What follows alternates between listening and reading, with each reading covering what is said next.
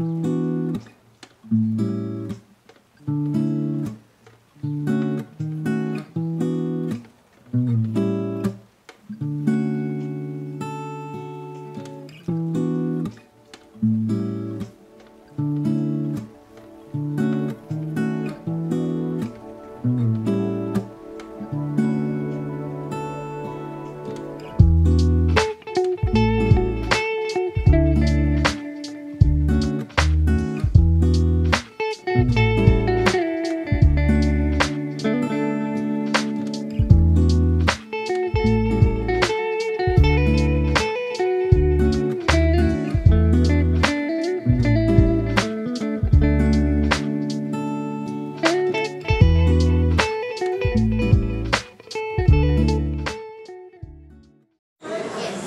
good afternoon everyone and welcome back to another video.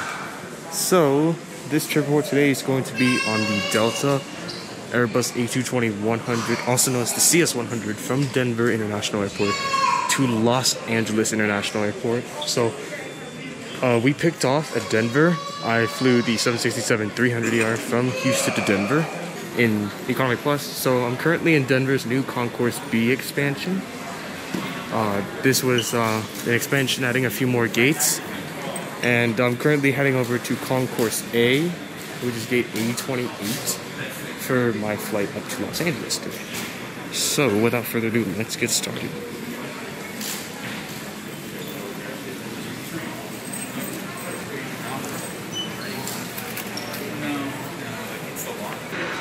Anyways, uh, you just have to take a few escalators down by two levels, or you can take an elevator.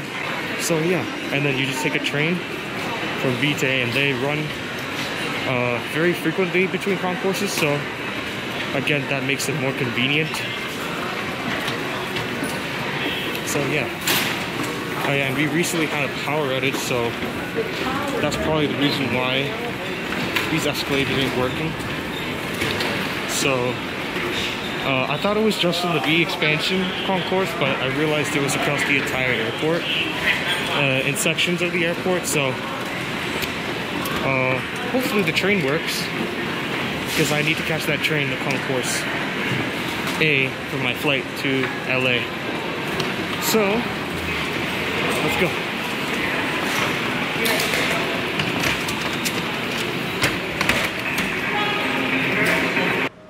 Denver International Airport is divided into three concourses, Concourse A, B, and C.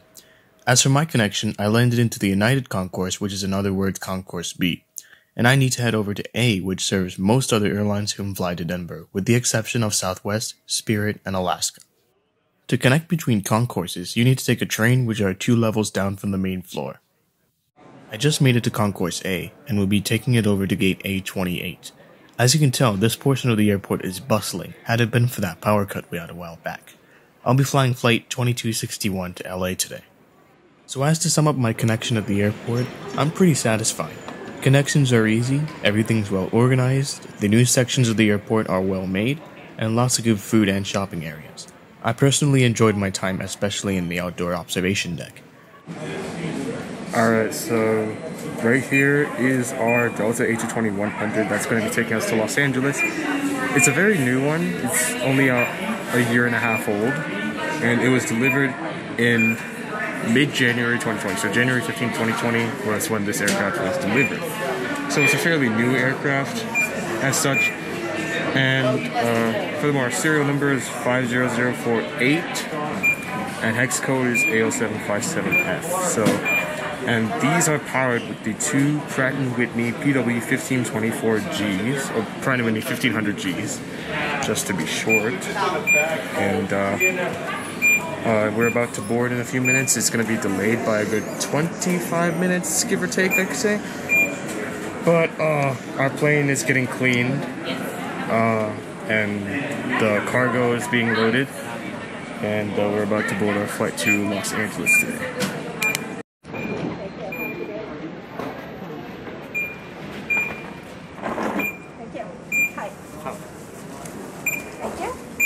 Take care.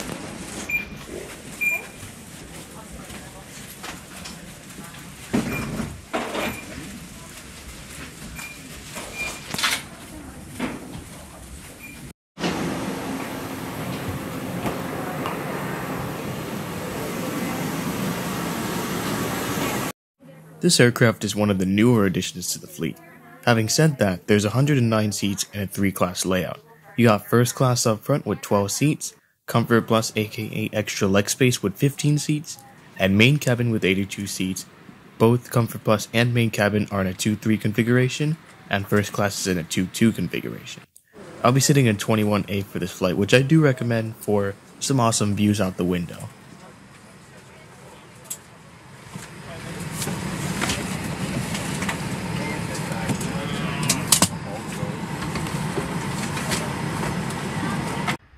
So just a first impression and looks of the airplane.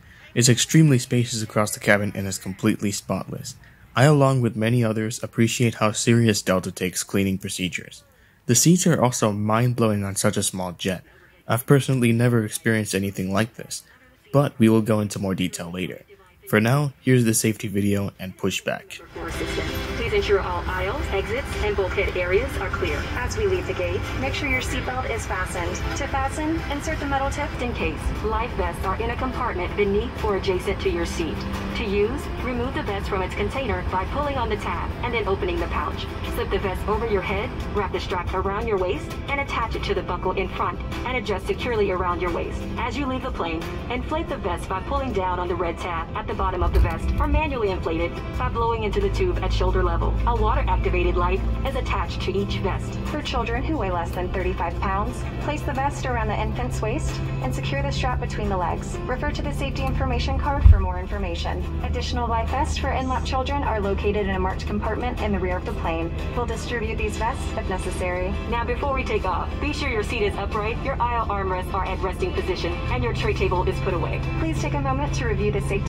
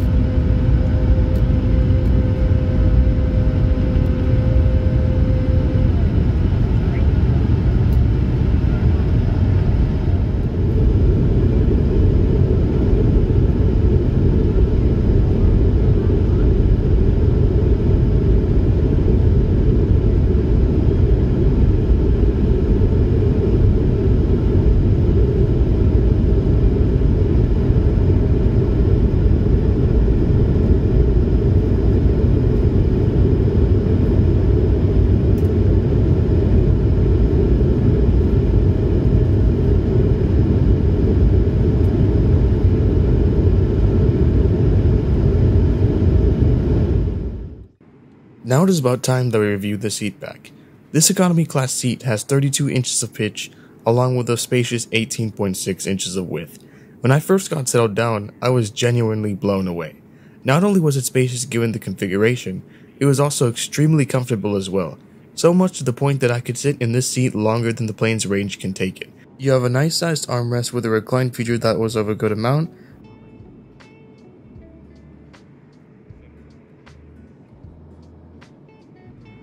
adjustable headrest which was very sturdy and soft,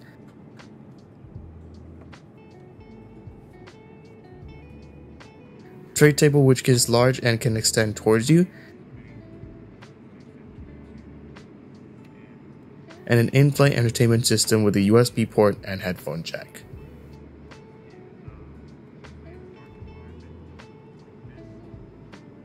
Below is the seat pocket with a few smaller pockets inside dedicated for literature.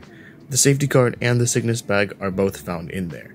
Alright, so first we have the sickness bag. Feel better. Um, use this when you can. Use this when you need to. And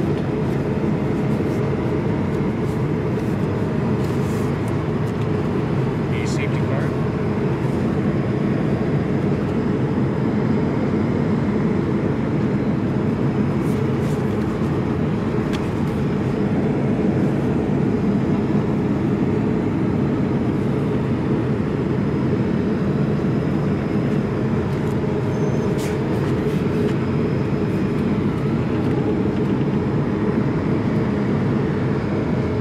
So here's the safety. This is the literature. It's basically. Do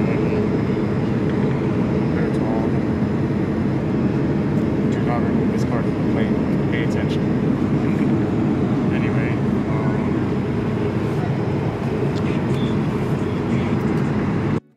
Additionally, universal power ports are also located underneath as well.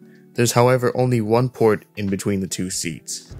Overhead controls are found above with air vents and reading lights accessible through the IFE system.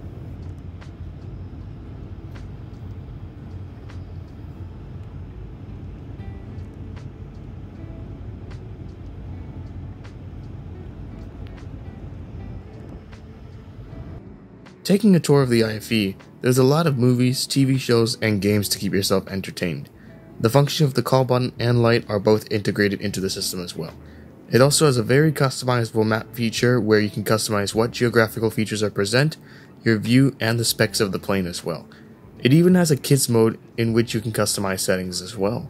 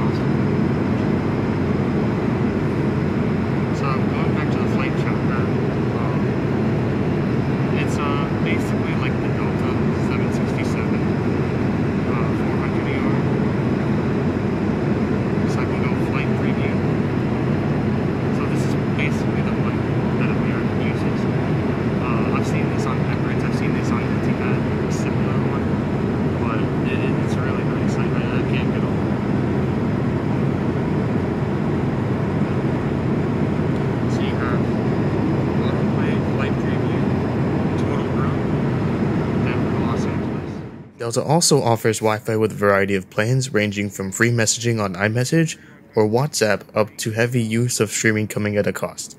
In my opinion, the prices are fairly decent for this flight, and the Wi Fi works pretty well with messaging. Next is the lavatory. You'll find two lavatories at the end, and I went into the one without the window as the other one was occupied. I was again impressed with the cleaning done.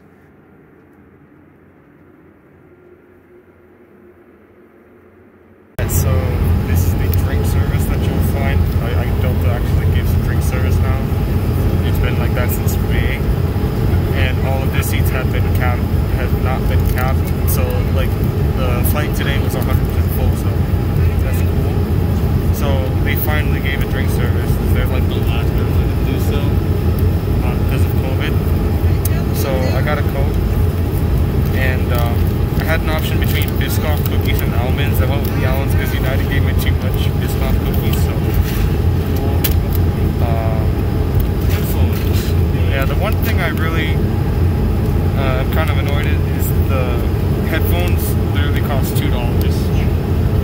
But two months ago, I got them for free for my flight from Atlanta to Atlanta on the 767-400. I got those for free, and now they come for a charge for like two dollars. They were two dollars. No. Um, I tried them out with my phone. They sounded like trash. Like I mean, extremely trash. All right, don't use those. The in-flight entertainment was decent, but for my cell phone, my laptop it was garbage quality. So I wouldn't recommend buying them for two dollars. Bring your own. I brought my own because I was doing voiceovers, etc. So uh, yeah, that's the meal service, meal slash drink service. Now, as we approached into Los Angeles, let's sum this flight up.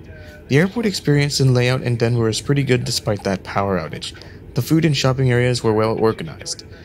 The seat was fantastic, as they were very comfortable and well padded and clean with the addition of great leg space. COVID protocols were also great as the plane was cleaned properly and wipes were handed out as well. They did, however, start selling their flights at full capacity, official in May. The flight attendants were also amazing as they had a lot of spirit and were willing to help everyone as well. The plane has also been a very amazing and strong addition to Delta's fleet as well. The technological advancements that have been put into this aircraft very much transform their smaller jets in pretty much most, if not all, of their aspects, such as fuel efficiency. It provides a higher quality experience in such a small form factor. A day after the flight, I was also sent an email regarding feedback, and that goes to show how Delta really cares about their customers. My overall rating for this flight is a 9.7 out of 10. I would highly recommend flying Delta and their A220s in the future. This was also by far my favorite flight of this trip. Now enjoy the landing into Los Angeles.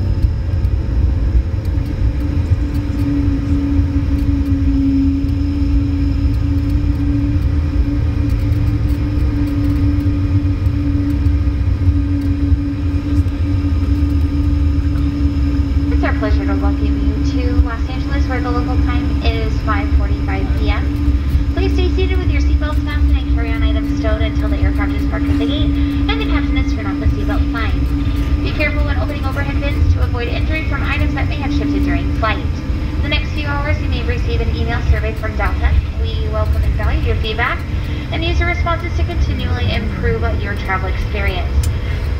We invite you to download the, and use the Fly Delta app for all of your future travel needs, including checking in for a flight and managing your SkyMiles account.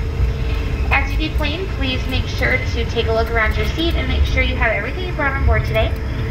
On behalf of Delta and the Salt Lake City-based crew, we'd like to thank each and every one of you for wearing your mask and face covering over your nose and mouth throughout the flight, keeping us all safe.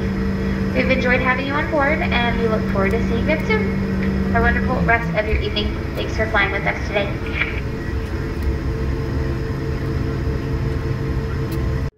Thank you very much for watching this video. I have a good seven and a half hours here until I embark on my next flight. If you enjoyed this video, please be sure to subscribe, like, and drop a comment down below. I have quite a few more videos coming as well, so you do not want to miss those. For now, I will catch you all in the next video. Thank you guys so much for watching.